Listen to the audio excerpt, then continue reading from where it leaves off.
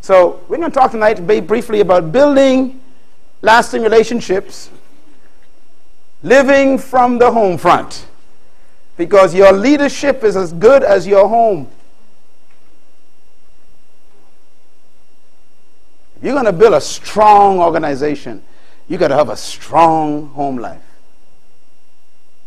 Sometimes we go to college to learn all kind of techniques about management and organizational principles and all kinds of you know mechanical things about leadership. And we have no training in just living with a spouse or parenting children. And these are the greatest examples. Paul says if you don't know how to run your own home well don't touch god's house. Because this is big business here. All right? I want to talk a little bit about then the principle of relationships Uh, actually, we're going to focus on the power of needs. Because this is where relationships get their, their concepts from. Power of needs. This is so important in, in understanding how to build a strong marriage and a strong relationship. Uh, successful marriages are a result of knowledge, not of love. Love does not keep marriage together. Write that down right now. Love does not keep marriages together. Write it down, please, because you think it does and it doesn't. It really doesn't. Okay, first of all, let's talk about needs then. I am convinced that needs are the key to a strong relationship with anything. First point to write down everything was created to relate to something else. Number two, all relationships are based on needs. How many? All. All. Relationship between your dog and you, the plant and the soil, the sun and the leaf. Everything in this building is based on relationships. You and your car have a relationship going on. You treat it right, it treats you right. You do something for it, it does something for you. Everything is based on relationship. You're not a mechanic, but you need the mechanic. When your car breaks down, you go to visit the mechanic. You don't, you're not married to him, you don't love him, but you got to relate to him based on something. Am I right? You don't sleep with the doctor, at least not all doctors. Some of you sleep with the doctor, but you know, but when you're sick, you got to relate to the doctor. The dentist, you don't like the dentist, but when your teeth start giving you problem, you got to go visit this person. In other words, relationships, everything is related based on relationships. And what is it? What is it? Needs. Needs. Number three, needs dictate the nature of all relationships. In other words, the kind of relationship you develop with something depends on the needs that it meets in your life. And number four, when needs are neglected, relationships are broken. Boy, this is so simple yet so misunderstood. Anytime there is a break in your relationship with somebody, it's because there was a need that wasn't met or a need that was neglected. So when something is causing stress in any relationship, it's because someone's need is not being met. If you owe somebody money and you don't pay it, it strays the relationship. You take the plant, pull it from the soil, you've broken the, the, the needs. The plant needs the soil. And so you have destruction. That leads me to the last point here. Relationships are successful when needs are effectively met. So when we talk about developing a home and developing a marriage, developing family, you have to think about the needs of children, the needs of a spouse, the needs of a home, the needs that you have, that the person has, and you got to work through those needs and try and develop a spirit of knowledge Everything is based on needs.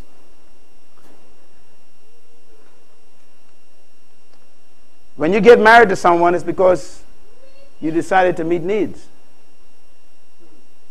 Hopefully, get yours met in the process. But there's no guarantee. We can talk about that in a minute. The essence of marriage, therefore, and relationships is needs. If relationships are based on needs,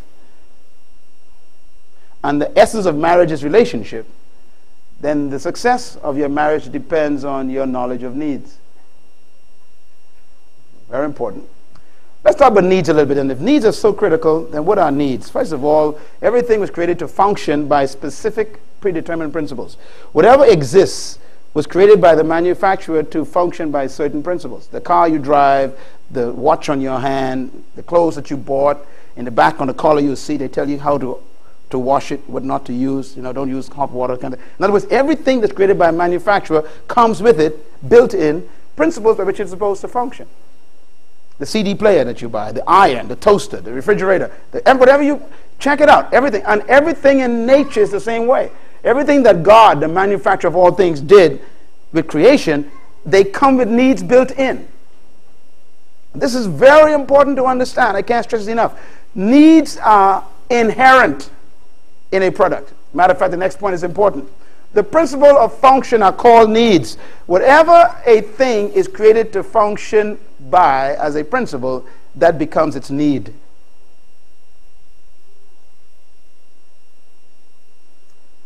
A plant needs soil, right? No. Put another way. A plant functions when it is in soil. So the function is based on the principle of soil and the plant. So now the principle becomes a need. So the plant doesn't want soil now, it needs soil. God never says, I will create a plant and it shall need soil. He didn't say that. He just created plants to function in soil. so the principle becomes plant relate to soil, plant live. Plant not relate to soil, plant die. So now the function principle is soil. So when you give plant soil, plant functions. So plants need is soil, water, nutrients, whatever else you want to add there.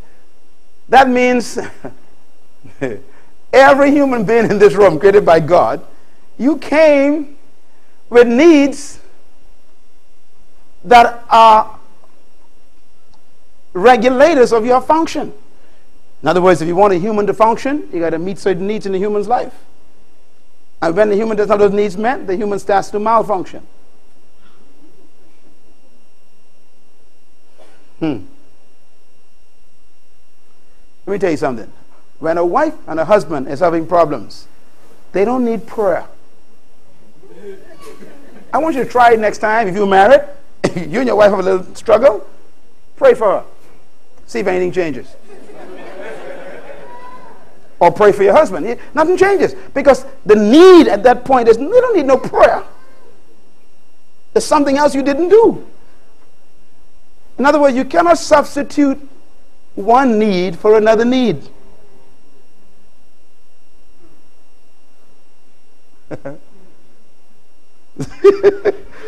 I feel like laughing because it's so funny. People do it all the time.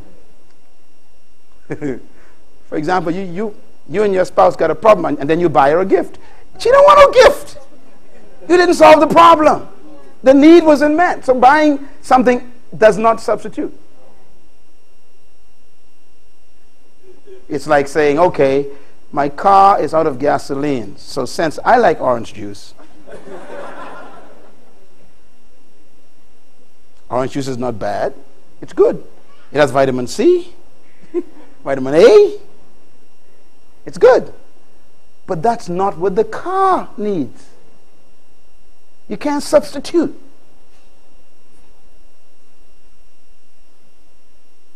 Is this good? Y'all thinking, I guess you think it's, ooh. So therefore, when somebody meets you and they want to marry you, your first question is not, do you love me? The first question should be, do you know what I need? That's a tough question. Do you know the needs of a woman? Do you know the needs of a man? And if you don't, don't marry yet. Because you're going to be substituting all the way through. And when you put gasoline tanks filled with orange juice, no matter how you turn that car, it malfunctions. Sincerity does not make orange juice work. Come on, get it? I'm sincere, baby. Yeah, but that's not what I need. Is this making sense? All right. So we need to appreciate that. Now, this, this last point a need is a requirement necessary for effective function. That leads then to the, this fourth point, and that is every created thing was designed with inherent needs. Everything, everything. Inherent means that you do not decide the needs of a thing. So when you talk about relationships, and you talk about male and female, and that's what we're talking about here, and you're talking about being a leader that can function in your own home, out of your own environment, the first thing you got to understand is that you have to learn how to make your relationship work effectively so you don't have no confusion, distraction when you get in the other areas of leadership. It's tough for you to stand in this pulpit and preach to these other folks about how to fix their marriage, and your wife ain't speaking to you. First of all, that is hypocrisy at the highest level. You're not qualified to speak. Paul said again, if you do not manage your own home well, you cannot manage God's house. He puts them on the condition of each other. So if you don't know how to, meet the needs of your own family, your own spouse, your own child, if you have problems with that, then he says you're not qualified to go outside and try and lead anyone else. That's why I disagree with President Clinton. That point stuck with me. He said, What I do in my private life has nothing to do with my public responsibility. I disagree with him to his face. You don't deserve to be a leader. You see, let me tell you what he's saying. He is schizophrenic. what you see in public is not what is in private. Do you know what Jesus calls that? Hypocritical. By the way, the word hypocrite, you pronounce it hypocrite, is actually a good word. It's from the, the plays of Rome and Greece during the time of Jesus, they had these plays. Matter of fact, one of the greatest sources of great plays is in Greek history. The Greeks were the ones who really developed this acting thing. Now, when somebody was acting on the, on the stage in Greece, and the Romans also stole that from the, from the Greeks and they developed it. When somebody was acting, the characters that they played in those plays, they never used to like, like uh, be a person, you know, the real person. When they had a character, they would make a mask to represent the character. And the person would have this mask on a stick. And when they come on stage, they'd walk behind the mask, you see. That mask was, was called hypocrite. It means actor. The person behind the mask was not the mask. The mask was showing a different person. So where hypocrite comes from. It means behind a mask.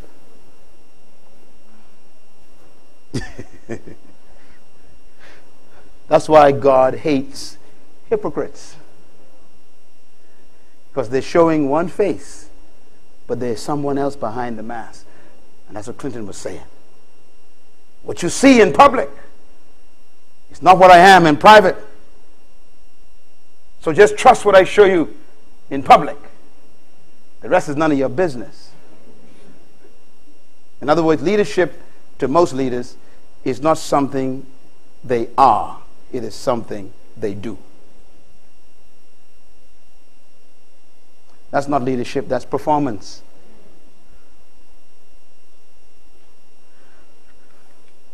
That's why they call them artists. It's an art, it's a performance. We cannot afford that in this kingdom.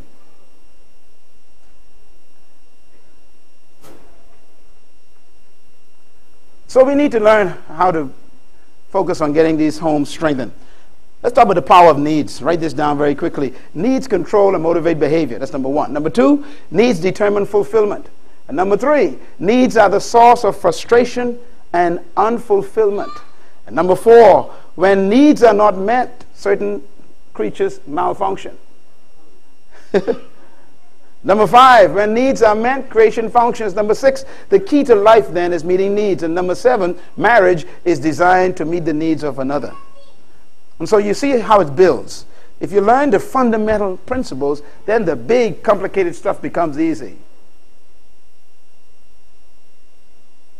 It's no mystery. You have a seed, and the seed has a tree in it. You want to get the seed to produce a tree? No problem. Meet its needs. What's the seed need? Water, soil, sunlight. So you put it in the soil where there's sun, and you put water. And then the seed functions. You meet its needs, it produces. No mystery to life. Marriage is the easiest thing in the world. and if it's not, it's because the level of ignorance in your home is so high concerning the needs of one another that you are living in a war zone all the time. You are in a malfunctioning environment constantly always angry, always on edge, always frustrated, always touchy, always afraid to talk to each other. Why? Because you don't know what's going to happen. Because you're not meeting anyone's needs. And yours not being met either. Marriage is fun. Your fun is seeing who can meet each other's needs the fastest. That's fun. Not a chore.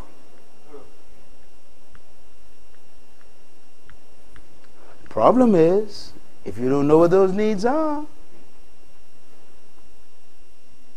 then you become spiritual. Praise the Lord. Hallelujah. Glory to God. Amen. See, you kind of go off into the spiritual thing. Let me tell you something real cool now. Listen, when you get married, don't marry no prophet. You don't want no evangelist. You don't want no apostle. You don't want no pastor, no preacher, no teacher, no prayer warrior. You want a spouse. Can I hear an amen loud? Praise God. So when I want to talk to you, I don't want you to prophesy to me. and I didn't marry you to evangelize me. Don't preach to me. See? I want a spouse. And you got to be careful. Some of you are looking for these people to marry them. These prophets and evangelists and apostles and things. No. All right. The key to marriage. Here's a little key I have. I can have that book on, on marriage and love. Or yeah, or two of those, the dating one too. A dating book. Yeah, boy, I tell you, this is, this, this is good stuff here. Thank you very much. That's fine. I can't stress how much uh, uh, you might want to get this book. This is about 27 years of study, finally in a book. And uh, in this book, I have the 26 needs of a woman. that ain't all either. That's just the ones I could figure out. Uh, I had a guy said to me one time, he says, he says, women only have two needs. I said, really? I said, what is it, man? Because I want to know. I, my parents said, tell me, man, what is it? He says, he says, the first one I don't know. and the second one I'm still trying to figure out.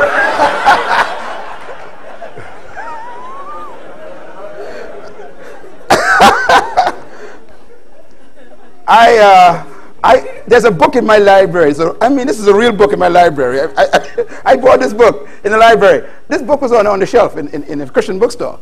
And it, and it had on it everything a woman needs, wants a man to know about women. I, I bought the book, opened it, and it was blank pages.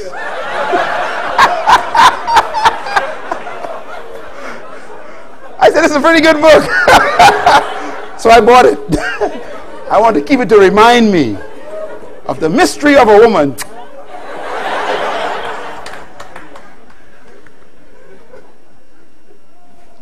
In this book, I talk about the 22 differences between a male and a female.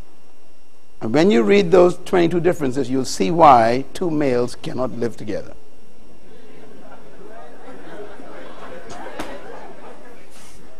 You'll see why two females cannot get married. Because the two creatures are so different that they cannot, that the same gender cannot meet the gender's need. It takes the opposite sex to meet it. The manufacturer made a wonderful product. So here's one of the things I talk about in this book, and that is the key to marriage. Write this down, please.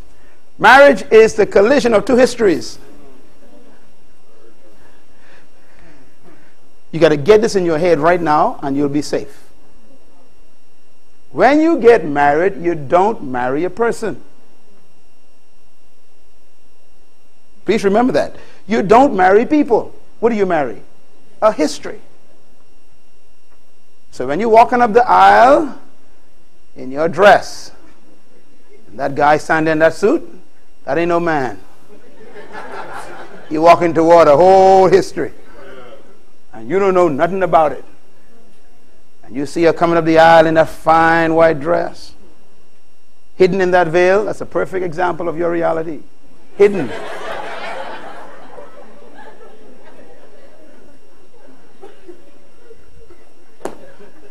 You're not marrying a woman. What are you marrying?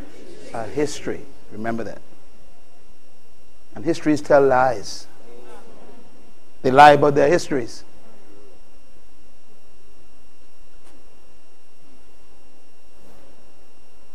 So I always tell people look, if you're 30 years old and you get married to someone who's 30 years old, you got married to 30 years, not a person. And on the wedding night, 60 years is in the room instantly. That's a formula for chaos. And now you're going to spend the rest of your life studying those 30 years. And believe me, they are filled with revelations. One of the most famous statements you hear in married couples' lives is this statement. Well, I didn't know. See, what they mean is, I just got a revelation. I didn't know you did this. I didn't know you was like that. You have a child? In Lagos?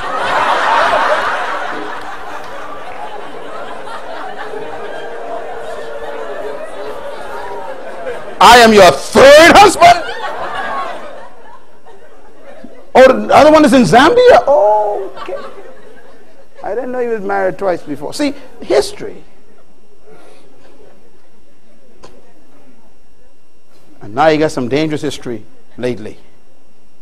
AIDS, which doesn't show up until five years of incubation. So, marriage is not simple. and here you are with a great vision. you got this big dream, and then you marry AIDS. See, it ain't funny all of a sudden You can't fulfill your dream.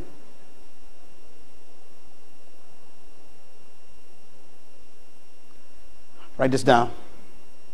Marriage is a blood covenant. That's true. I ain't got time to get into that. Make sure get this book on waiting and dating. this is a very important book for everyone to read. If you're married, read this twice. Start re, re-dating your spouse. And if you ain't married, read it four times. In this, in this book, I talk about why God hates fornication. Explain it. Why? Because it's, it's, it's dangerous stuff. See, fornication is, is cutting a blood covenant with somebody who ain't worthy of the covenant. Because the blood covenant is for life. Blood is the only element in your body that has death and life in it. All the death in your body is in the blood and all the life in your body is in the blood. There's no life in the, in the organs or lungs or anything, no heart. The life is in the blood. And so is the death. All your diseases are in the blood. So death and life is in the blood. So when we talk about the blood of Jesus, we're talking about the death of Jesus and the life of Jesus at the same time. Are you following me? That's why when God created a female, he locks her up. A woman comes to the earth locked up. Every female comes to the earth locked up, completely locked up. And the only way to open a woman is to spill blood. Because God never intended for that woman to have intercourse unless it was with a, a, a another person, a, a male, who was committed to life and death with her. That means to live with her until death. It's a blood covenant. That's why God hates fornication. That's why being a virgin is holy and godly and biblical. Not a matter of sex and, and, and all this stuff we talk about. It's a matter of understanding the value of blood. So quiet. My first title for this book, uh, when I submitted this to the publisher, the publisher liked it.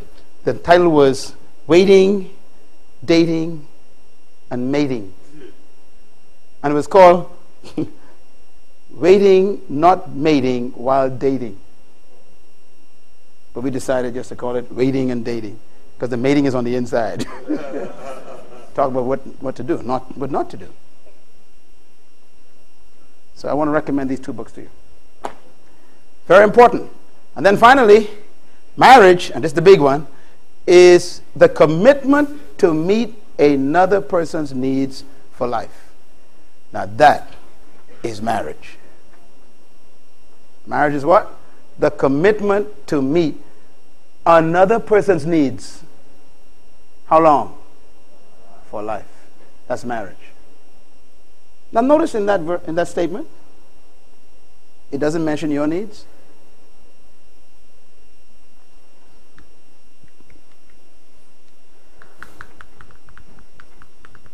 Very important. Sometimes we get married because we want our needs met. Wrong motivation. The marriage is already in trouble.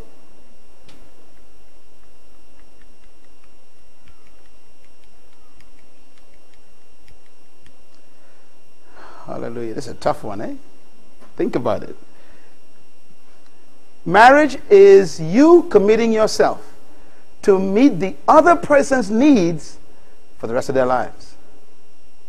So you have two problems here. One, you may not know what the needs are. And number two, you might not get yours met. Which means that agape in that relationship has to be present. Because agape is a strange kind of love. Let me give you an example. Okay? Start with marriage, and then I'm going to define agape for you. The word marriage is the word gamio. It's a Greek word from the Hebrew context, uh, the transliteration. And it actually comes from the word like we use for gem, like a precious stone. And the reason why I believe God uses that is because marriage is like a diamond. How are diamonds created? Very quickly. First of all, diamonds go through a process. They begin with a porous material and then they go under a long time of pressure. The pressure then produces fusion. It's the fusion that produces a crystalline compound that is buried under the ground, and then it is discovered later on, and that's what diamonds are. So, marriage are basically a relationship that begins with porous people, weak people. But the pressure of life on that relationship fuses the people together. And that creates fusion, which becomes a crystal. And then crystal, when it's left under pressure over time, becomes a diamond. And by the way, you may not have realized this, of course some of you do, but do you know that the diamond in your ring, they say used to be wood, became coal under the pressure, which became crystal under pressure over a long period of time, which became a diamond. All right. If I took a piece of wood and gave it to you and said, this is for $50,000, would you buy it? No. But then take that piece of wood through 300 years, 400 years, 500 years of pressure and come back and say $50,000, would you buy it? Yeah, it's a diamond now. That's marriage. You know, when I stood on my 25th anniversary celebration with my wife, we, we got married again, as you have seen. And we had a big, you know, marriage celebration and everything. All of our old friends came back and our bridal party and everyone came back. Same bridal party. Everybody was there 25 years later. And I stood up and I said to everyone, I says, you know, now we are beginning to be married. And it wasn't funny. Because you really ain't married until you've been together 25 years. You just, you, just beginning to, to hit the, the stride now. You know how long it takes to become a diamond? What makes a wood diamond is pressure. And you see, the young people, you folks can't handle a little bit of pressure. You can't wait to divorce, get out of here, split, go back to mama. You don't understand that marriage is designed for pressure.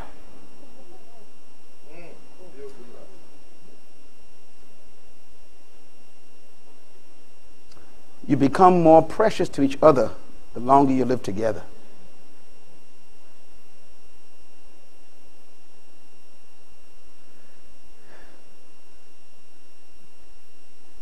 Is this good? Yeah. Uh, I want to give an example, okay? If I can do this. Can you come here a second, you too. Since you got in the same robe. Stand right here for me a minute. Okay. I want you to face back to back. Back to back. Yeah, come. Back to back. Yeah, close. Back to back. Okay. Now, now this is what God intended for marriage to look like. Just like that. Back to back. Couple of reasons. When I attack her, she can see me. Isn't that amazing? When I attack him, he can see me. Face each other. Okay. Now the problem is when I attack him, he can't see me. And so when he gets hit, who does he see? Her. So he blames her. this happens. This is real. Oh, you, this is how it works.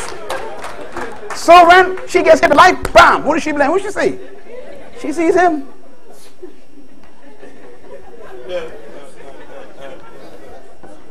That's the problem with marriage. We live face to face. So our spouse becomes our enemy. And the devil keeps on punching. See? Turn back to back. According to the Word of God, the only part of your body that doesn't have any armor is your back.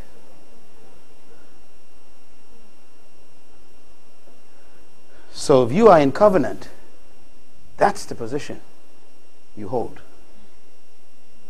You protect each other's weak points. So when the devil attacks the couple, then whoever is facing the attack defends the other person. Why? Because you are there to meet their needs. And you never blame the person because you can't even see them. You blame who's coming. You put it where it belongs. Now, when the pressure hits this thing, this wonderful combination, when the pressure hits it, it keeps pressing them together until the Bible says the two shall be one. So they fuse. And when you fuse, then you confuse the devil. Because when he looks at you, he sees him. And when he looks at him, he sees, that he goes, which one? Come on, give him a big hand anyhow. He's a wise God. Fusion. Thank you very much. So marriage is really a result of many, many years of pressure going through them together. They drive you to each other, not from each other. You ever heard this? We grew apart. It's the most silliest statement in the world. You decided to grow apart. You didn't grow apart. You, you, you developed other interests. That's your problem.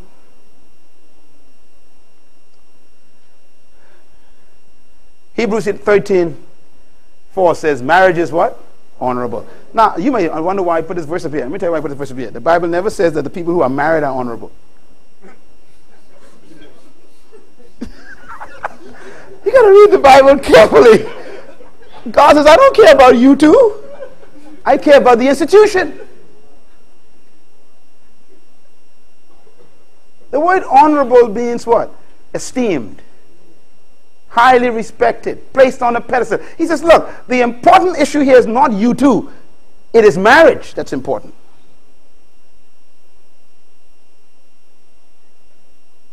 In other words, we, we get this attitude that if it ain't working, I'm getting out. As if we are more important than it.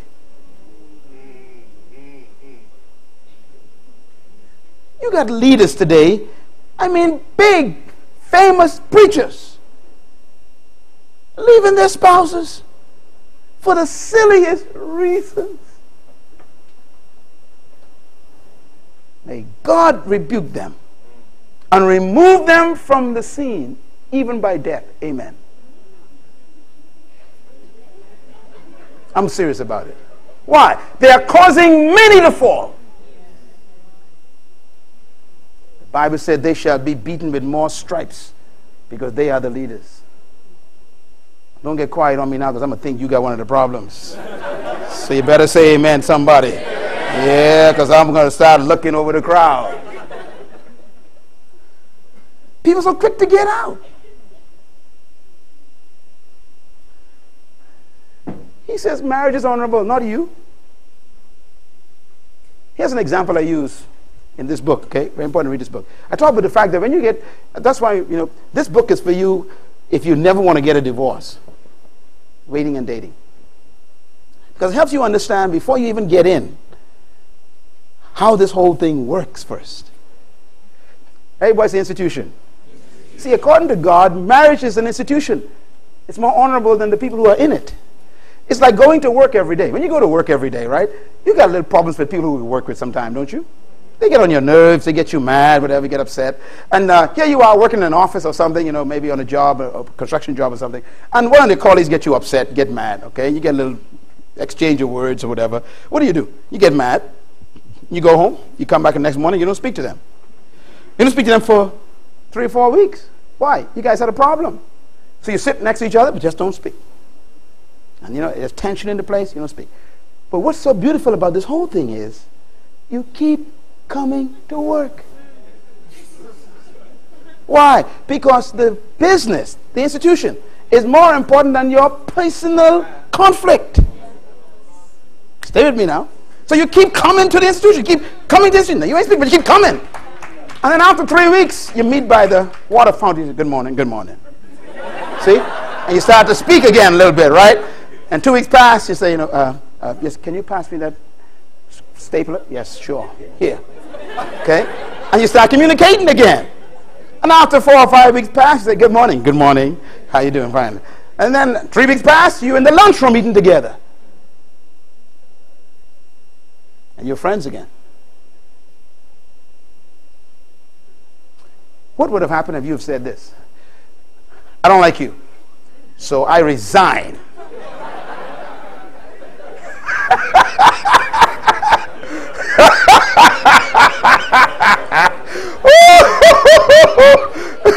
That's the dumbest thing I ever heard, man. Am I right? That is dumb. Secretary gets you mad. You resign the job? Must be crazy. No, the institution is more important than those in it. That's the way marriage is supposed to be seen. My wife and I got married. We decided there's a word we don't even discuss. It doesn't show up, and that's divorce. It's not even an issue.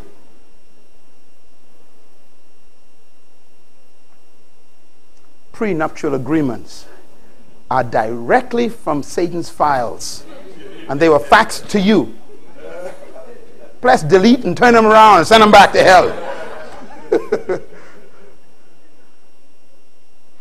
you don't go in, into marriage with an escape hatch with a private key in case anything goes wrong. You just kind of slip out.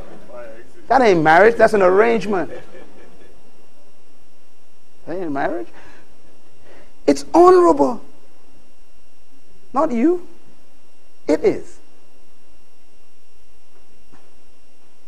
You must learn to respect marriage so much that getting out is not an option.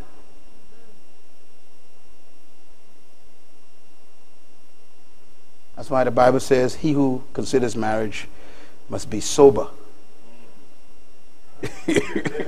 Have all of your faculties working. Because when you get in, God throws away the key.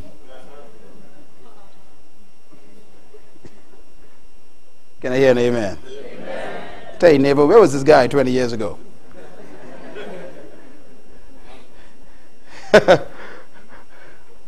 Marriage demands a commitment to the institution above one another. Write that down. You got to be committed to the institution above one another. Marriage is more important than those in it. People change, but institutions are unchanging. And that's why God says marriage is honorable. Because it doesn't change. The government cannot improve on the institution of marriage. Two males getting married does not touch God's institution. That's a different, that's a different institution. That ain't God's institution. Separate. Needs are unique to each person. The goal of relationship is the meeting of needs. The purpose of relationships is not the meeting of your needs, but the needs of another. And when needs are, of the other person is met, your needs will usually be met. And this is why the beauty of relationship is so beautiful. You know, if you put gas in your car, your car normally runs for you, right? Right. So if you meet people's needs, you normally get your needs met. But you got to be prepared to not have your needs met. Boy, I tell you, this stuff is so important. Please buy this tape. I'm going to say it again. Be prepared to not have your needs met, and you'll be happy all your life. Go in to meet their needs, but be prepared not to have yours met, and you'll be happy. Because whenever they meet them, you're shocked. Ah, thank you. Woo, I didn't expect that. Praise the Lord. See, because if, if you go in just to get yours met, you already begin with problems. The number one source of failure in marriage is expectations. Expectations. What you don't expect will never disappoint you. I repeat, what you don't expect will never disappoint you. And so the key in relationship is to go after meeting the other person's needs and not expect yours to be met. Because if they are met, then it's a bonus. If they're not met, it doesn't touch your love for the person. Are you with me? Give you something. True love meets the needs of the one who's loved. That's true love.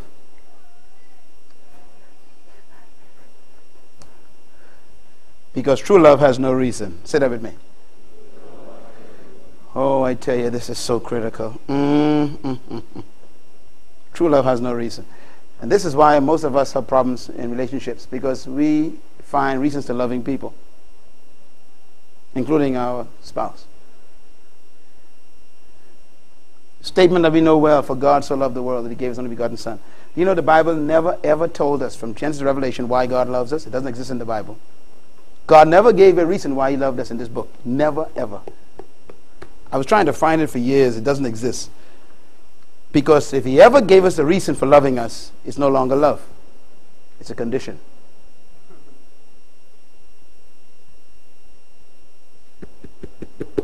True love has no reason. Say it. That means if anyone can tell you why they love you, you are in trouble. Immediately, instantly. Here's why. Because when you have a reason, you have a condition. When you have a condition, you have an expectation. An expectation will produce disappointments all the time. And Disappointments produce division. And division will always produce that crazy word we hate, divorce. And divorce also produces a death of relationship, which also produces dysfunctional families. And that produces uh, social decay in society, which also produces community destruction, which also produces a national loss. In other words, your private decision becomes a national problem.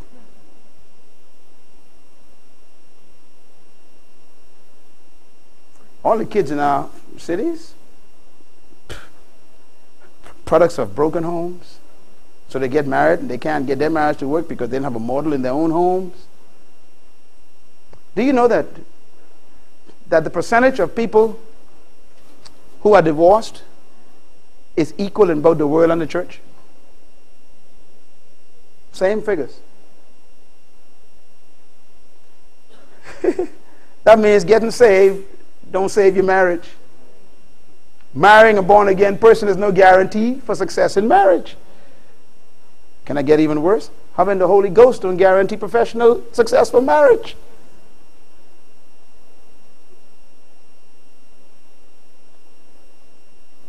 Can I tell you why? Because the Holy Spirit does not give you information.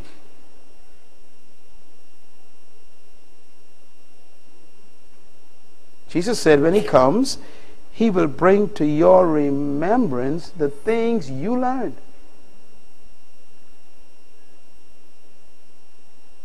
So if you didn't learn nothing, he can remind you of it every time you got a problem. He say, okay, here's what I want you to do. Nothing. Because you didn't learn nothing. So he brings to remembrance nothing. And you keep spiraling down into destruction. My people perish because of a lack of knowledge. Holy Spirit cannot teach you what you didn't learn. You know, when I say things like read this book, right? Read this book. You think I'm trying to sell books. Listen, this is research 30 years. I'm saving you 30 years of trouble. The beauty of this is you don't need to remember the material. Just get it in. His job is to keep on bringing it every time you need it. Is that clear? The knowledge becomes a storage. The Holy Ghost is the one who pulls it up whenever you need it. People think I'm wise. No, I just got a lot of information on the inside. And no matter, no matter where I am, any second, any minute, any day, He brings to my mouth and my mind things I remembered, I read, I studied, I heard on a tape, a CD somewhere. It comes back. The moment I need it, it comes back. It's there. You don't need a good memory if you have the Holy Spirit. His job is to bring to your remembrance the things you've learned. So that's how dangerous relationships are. All right, let me just close with something here. I don't want to talk about that. I just want to close with this list. Write this down, please. It's just five of them I'll give you. Uh, uh, then the, the basic needs of a male and female. The number one need of a male is sexual fulfillment. Male needs sex. They don't want sex, they need sex, all right? Women don't need sex, they need affection. Women like sex, but they don't necessarily need it. They need what? Affection. So a woman doesn't want affection. She needs affection. Okay, so it's, it's, important for you to understand that. Okay, the th second need that they've identified of a, of a male is that he needs what? Huh? He need what? Say it loud. He need recreational companionship. In other words, the male, because of the way God designed him, let me tell you why. This, uh in this book, I talk about how why God did these things. I explain scripturally too why these needs are there. Why does a male need recreational companionship? Because a male is designed by God to be a protector. Genesis 1, Genesis 2 rather. Yeah, verse 15. God the garden. So the male is the, is the protector, the God. God designed him, therefore, to be very, uh, I'm going to use another term. The male is designed to be very possessive because he is built to protect territory. So he likes to possess things. That's why a man likes to possess even his woman. No, this is my wife. This is my woman. This is my. See, a man is built that way. This is my house. This is my my. A man got the spirit of possession. That's not negative. That's good. That's a that's a design for protection. That produces in the male the spirit of competition, because he likes to protect his territory. So the spirit of competition, competitiveness, is very high in the male. That's why males like sports. Because it appeals to their nature of protectionism. Matter of fact, when, when a man's team win, he thinks he won.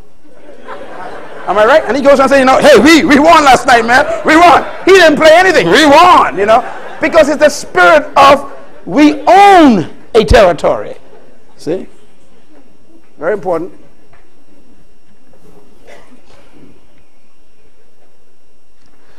And so the male has built into him this spirit of competitiveness. That's why, you know, this is interesting.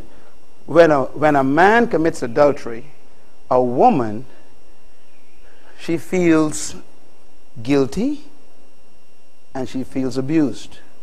A trust. When a woman commits adultery, it's different for a man. A man feels violated. There's a difference. And just can understand how this works. That's why a man would basically go to the point where you want to kill a woman. See, a woman wouldn't normally, you know, go to extreme. Normally would kill a man for committing adultery. But a man has a tendency to almost want to kill the man and the woman. Because his territory. Keep in mind now, you see, the woman is his property in his mind. So his reaction is different. He, he, he reacts in terms of, you took away my property. I lost my property. And so his reaction is different. He becomes violent even. A woman becomes depressed, she becomes guilty, feels guilty, she feels abandoned, she feels hurt, but a man doesn't. He feels violated. Same act, but different response. Because they're different. Some of you wonder why there's so much domestic abuse where the male is hurting his wife. Because he needs help. He needs to come to the seminar to understand how to manage his aggressiveness. It's not to hurt the woman, but to protect her. But he doesn't know that, so he uses it to hurt. So a man needs a woman to enjoy his competitiveness. He wants a, a, a spouse who will enjoy his stupid games.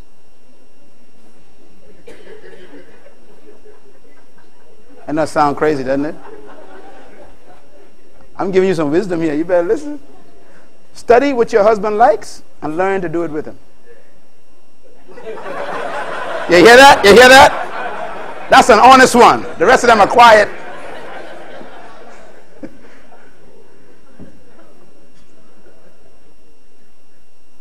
Look at the woman's number two need.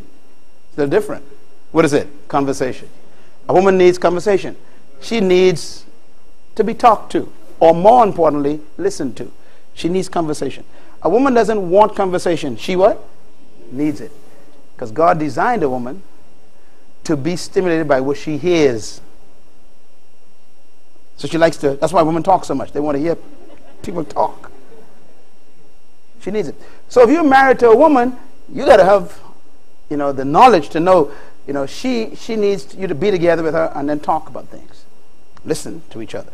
And a lot of times, you know, my wife have some talk about, I just listen. Because sometimes women don't want you to solve a problem, you know. And women say, I got this problem. Honey, I got this problem. And she come get this problem. She gives this whole big problem. And you go, woman, you're stupid. It's simple to solve. Just do this here. Do that, that, that, finish. And she gets mad. Ah! He said, but I solved it. She didn't want you to solve the problem. She wanted you to talk and listen. Oh, you're right. So when a woman approaches you with a problem, gentlemen, she don't want you to solve it. She want to talk about it. And if you never solve it, she's happy. As long as you listened and everything, just, just go happy walking off. Praise the Lord. He listened to me. Hallelujah. she needs conversation. Third need of a man is what? An attractive wife. Now, here's a reason why again. The male is designed to be stimulated by what he sees a woman designed by what she hears. Two different creatures. That's why men are stimulated by sight, women are stimulated by sound. God designed them differently. So a man likes to have a woman that pleases him all the time. If you study Jesus, his wife, she has beautiful, he's a beautiful wife. Her wife, her name is Ecclesia, beautiful lady. And the Bible says, husbands, love your wife like Christ loves his wife. And it tells us how. It says, he washes her with the water of the word. And he cleanses her. He removes every spot, every wrinkle, every blemish. He makes her beautiful, radiant. And then he presents her to himself. That's important. He wants to look at her all the time. So, ladies, your husband will need a beautiful wife all his life. If you put on 10 pounds, make them beautiful pounds.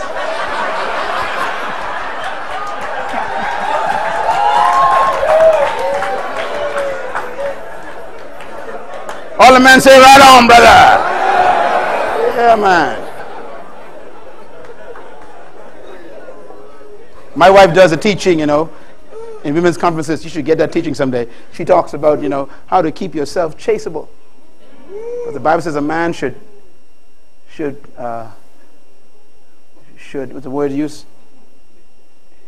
A man should cling. Yeah, that word cling means to chase after. Genesis chapter 2. For this cause should a man his mother father and cling, cleave. It means to chase, which means that you should, it didn't say chase your sweetheart or your girlfriend. So chase your wife. That means you're already married. That means you're supposed to look better after you get married. Make him chase you around the house. Well, we got some ladies who look pretty until you get married. I got him now. Everything falls out.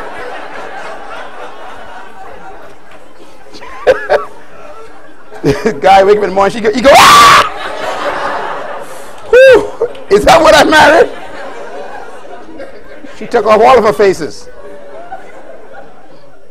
A man should not come home to a woman smelling like grease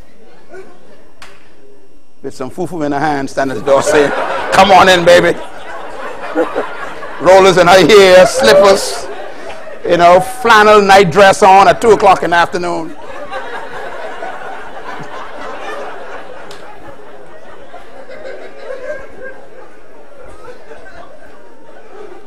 However, gentlemen, the woman's needs are different. She needs honesty and openness. She doesn't want that, she needs it. A woman needs a man who will tell her everything all the time, constantly telling her everything he's doing, what he's thinking. Tell him, here's what I'm thinking of doing, here's what I'm planning to do. Always honest, open, honest, open, honest, open, honesty. Very important. You shouldn't make any business plan without talking to your wife first. Don't invest the money until you let your wife know. This is what I'm thinking of doing. What do you think about this, babe? And many times, you know, your wife will, agree with you, but she want to know first.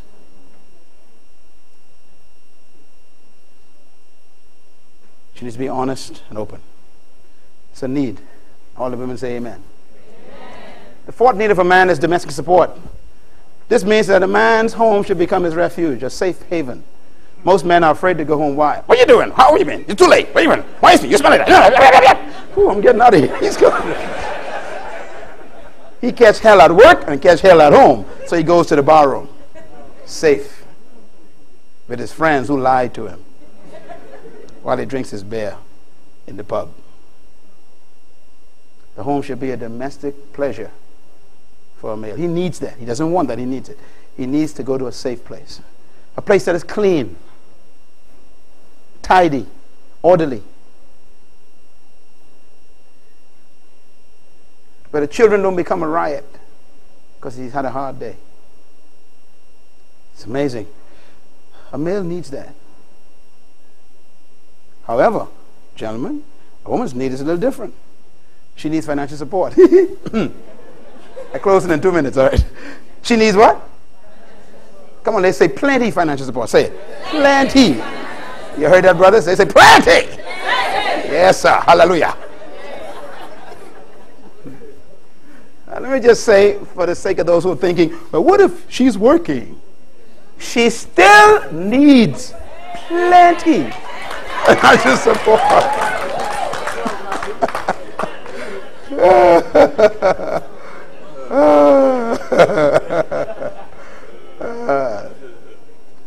deep down inside of every woman, I am certain she doesn't want to have to work.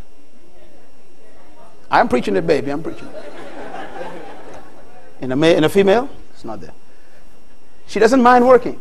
She doesn't really want to have to go to work. She's designed just to be supported.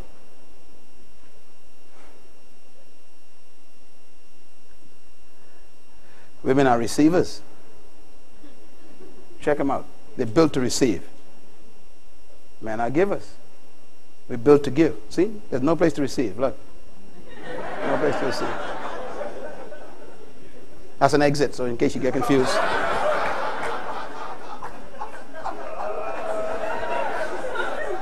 Y'all are slow, man. I tell you, I tell you, slow. Slow in England, yeah. I'm working on you. I'm working on you. You're, you're okay. It's illegal to enter and exit. Did you know that? It's illegal. That's why the alarm goes off. wrong way, wrong way. Yes, okay.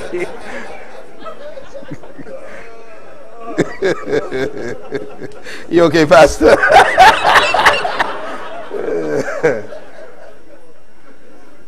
so a female is built by God to receive.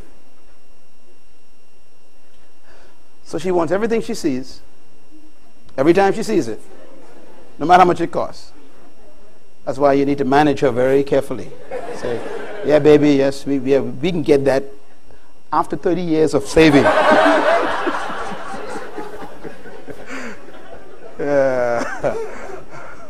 Okay, and the last need of a male is what?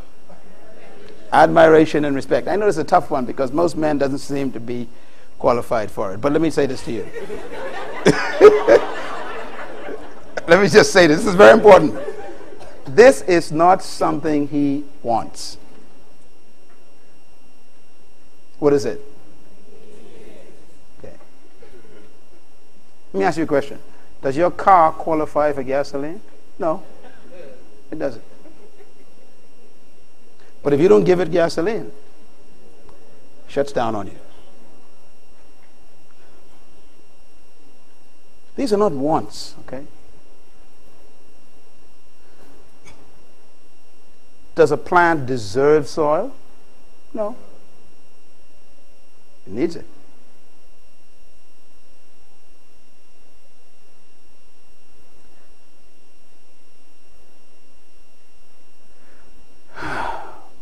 Look at the first one for women. What is it? Affection. What's the last one for man? See, they're on, they're on opposite ends. Admiration is not affection, it's praise. See, a male is designed to be responsible for the family. So what he needs is encouragement. Normally what he gets is criticism. And that drives him further away from responsibility. The best thing to do is to find out all the good you could about the man in your life. Whether it's a father who's an alcoholic, but at least he comes home. See? And you can say, Dad, thank you for coming home every day. You're useless when you come, but thanks you come. You know, you come. Some men don't come home. You understand? Find something positive. Admire, praise, encourage. A male. A male needs that. Why do you think males like to be with other males? Because other males lie to them. Hey man, you all right with me, man? Yes, sir, you my man. Yes, sir. See, they like to hit it. Hey, they stay in the group, see? Because the brother's lying to them. Hey, that's a fine suit. It's the ugliest tie I ever seen. Yeah. But brother, that's a fine. Yes, sir, you got it together. See? So he stays with those guys because they praise him. Then he goes home to his wife. Where you been? You smell bad. Go bathe. You know, and the guy's going, I'm gonna go back to my brothers. You understand? It's a problem, see? Why do you think most of the gangs have boys in it? Young men. Because those gangs praise them. Praise.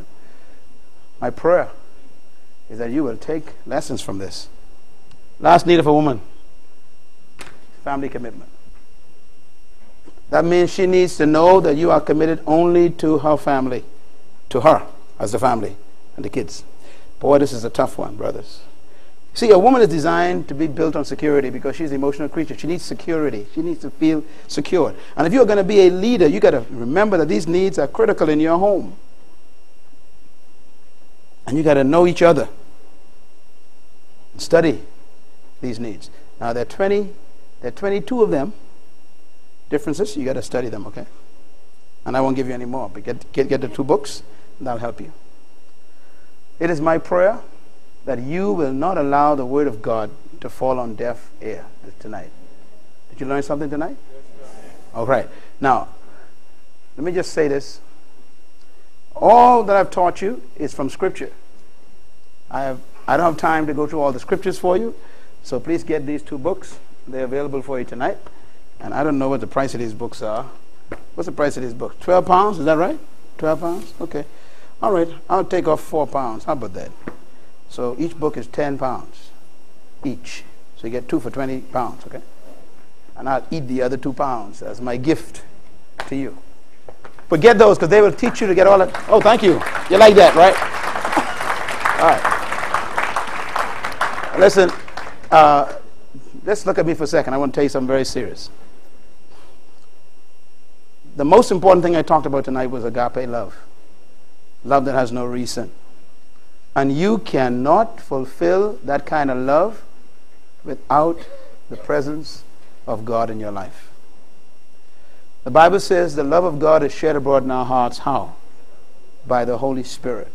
So you cannot live like this and have the kind of life I'm talking about that we have, my wife and I and my children. You cannot, unless you have the present, dynamic, daily guidance of the Holy Spirit in your life. Impossible. So you need to have a dynamic relationship with the Holy Spirit right now. And the only way to receive the Holy Spirit into your life is that you got to become holy because He is a Holy Spirit. How do you become holy? It's not difficult. Not difficult. The Bible says that we are cleansed by the blood, the death and life of Jesus. That's why he died. It's not a religious thing. It was actually a mechanical thing where God needed to, to wash us before he could live in us again. So Christ was not a martyr. He was basically a substitute. So he wouldn't have to die. So his blood was shed 2,000 years ago. So God didn't have to condemn us. He could forgive us. And that's why it's good news. You come to Jesus, he takes that blood 2,000 years ago. And when you say, Yes, Lord, I submit to that blood, then instantly the accomplished work is applied to your life. You become clean. Through that process, he says, then the Holy Spirit will come and live inside of you. And Nicodemus says, How do I know this will happen? He said, No man can see it when it happens. It's like the wind. But it will happen in this room tonight if you want to live like that and have a good future and a solid relationship and get married and have a good marriage and live a long life together and then be a leader with a strong home so that your greatness is not destroyed by your defective immorality.